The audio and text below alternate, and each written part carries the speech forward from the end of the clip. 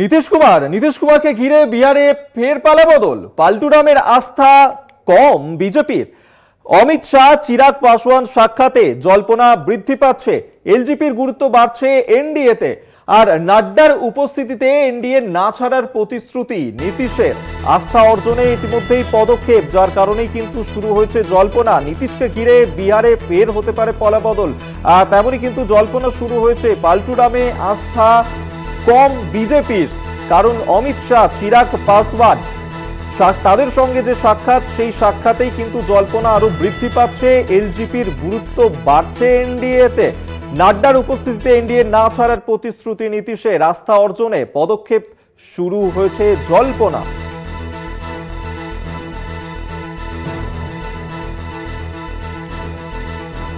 আমরা এই সরাসরি কথা বলব নিউজ রুম থেকে আমাদের সঙ্গে এই মুহূর্তে রয়েছেন আমাদের সহকর্মী অঙ্কুর ভট্টাচার্য।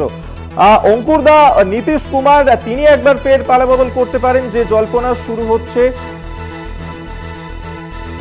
এবং যে জল্পনা এই মুহূর্তে শুরু হয়েছে, সেই ছবি আমরা দেখতে পাচ্ছি। দু হাজার তেরো সাল থেকে এই পালাবদল আমরা দেখছিলাম, যাকে রাজনীতির ক্ষেত্রে পল্টুরাম বলেই আমরা দেখে থাকি। দু হাজার তেরো থেকে এই পালাবদল তার চলছিল। ফের একবার তার পালাবদলের জল্পনা উঠে আসছে। অঙ্কুরদা।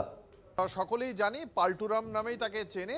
কারণ তিনি এতবার পাল্টে গিয়েছেন, ডিগবাজি খেয়েছেন তো সেই কারণেই গোবলায় তাকে পাল্টুরাম বলেই তার খ্যাতি বলো বা কুখ্যাতি বলো সেটা রয়েছে অভিক। এবং এবার এই কথাটা কেন উঠছে? তার কারণ হচ্ছে গিয়ে শুক্রবার দিন জেপি নাড্ডা, কেন্দ্রীয় মন্ত্রী এবং বিজেপি সর্বভারতীয় সভাপতি, তার সঙ্গে একটি সভায় উপস্থিত ছিলেন এই নীতিশ কুমার, বিহারের মুখ্যমন্ত্রী।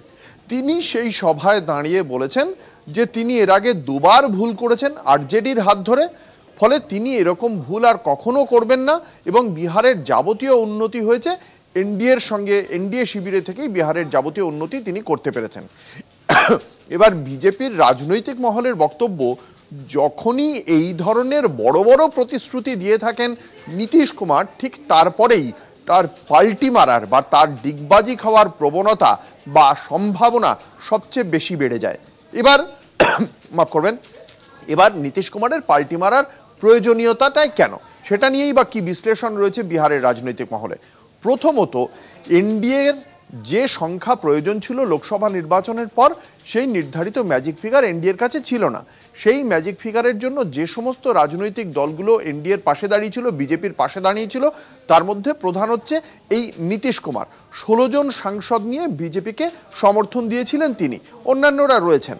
কিন্তু তার মধ্যে এই নীতিশ কুমার রয়েছেন। কিন্তু নীতিশ কুমার এমন একটি চরিত্র এবং তার দলকে নিয়ে তিনি যে কোনো মুহূর্তে যেহেতু পালাবদল করতে পারেন, সেই সম্ভাবনাটা বা সেই আশঙ্কাটা মাথায় রেখেই বিজেপি তার মতো করে একটি বিকল্প পরিস্থিতি তৈরি করতে চাইছে। এবং সেই বিকল্প হিসেবে কার নাম উঠে আসছে?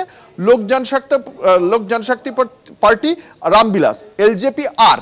এই এলজেপি আর এর কে প্রধান? তিনি হচ্ছেন চিরাগ পাসওয়ান। চিরাগ পাসওয়ানের সদ সাংসদ সংখ্যা হচ্ছে ছয়।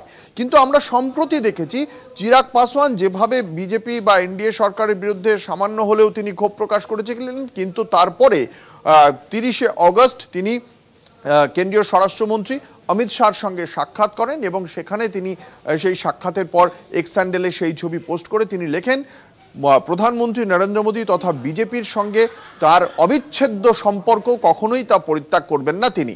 এবং এখানেই যেটা রাজনৈতিক মহল মনে করছে, যে কেন্দ্রীয় সরকারে থাকতে চেয়ে এই এলজেপিকে নিজেদের দিকে টানার চেষ্টা করছে ভারতীয় জনতা পার্টি এবং এলজেপির বেশ কয়েকজন সাংসদকে বিজেপিতে তারা জয়েন করিয়ে নিতে পারে এমন একটা চর্চাও চলছিল এবং ঠিক সেই আবহেই এলজেপির প্রধান হিসেবে চিরাগ পাসওয়ানের এই বক্তব্য।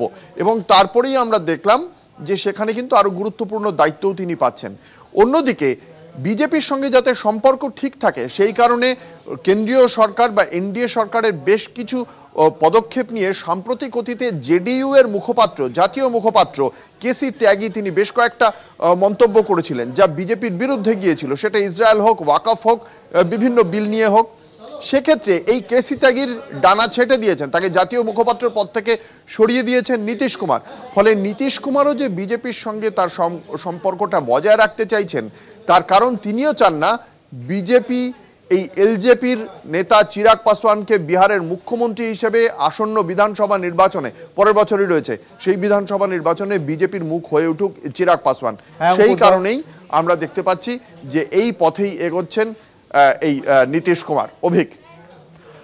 ধন্যবাদ তোমায়। এতক্ষণ সরাসরি নিউজরুম থেকে আমাদের সঙ্গে ছিলেন আমাদের সহকর্মী অঙ্কুর ভট্টাচার্য এবং অর্থাৎ বিহারে কি তাহলে ফের একবার পালাবদল হতে চলেছে? কারণ এই মুহূর্তে সেই জল্পনাই কিন্তু ঘুরপাক খাচ্ছে বিহারের রাজনীতির ক্ষেত্রে।